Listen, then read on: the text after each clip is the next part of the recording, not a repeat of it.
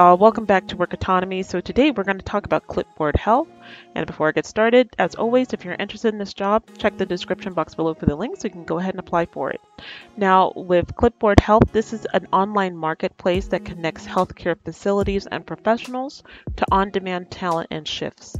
And right now they're hiring for a trust and safety analyst. The cool thing about Clipboard Health is that they do hire globally. So this role it doesn't matter where you're living, you can go ahead and apply for this position. And as a trust and safety analyst, what you'll do is you'll investigate safety incidents and provide satisfactory resolutions to customers.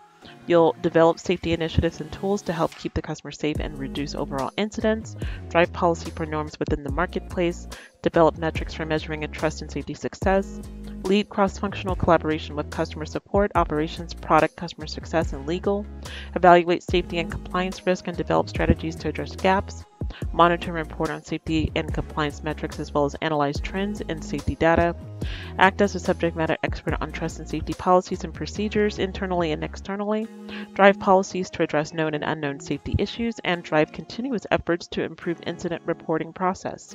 And the requirements that they're looking for is the ability to resolve customer incidents with empathy and action, exceptional written and verbal communication skills. You are a skilled communicator and listener, and you're comfortable expressing ideas and opinions to a varied audience. Ability to launch policies and features to enhance platform safety. Ability to manage multiple cross functional projects. Possess an I can handle anything mentality and extremely sound judgment in ambiguous situations. Ability to identify potential risk and effectively diffuse situations you have at least three years experience customer facing role. Trust and safety or risk and compliance background is a plus, it's not required, and the ability to work independently.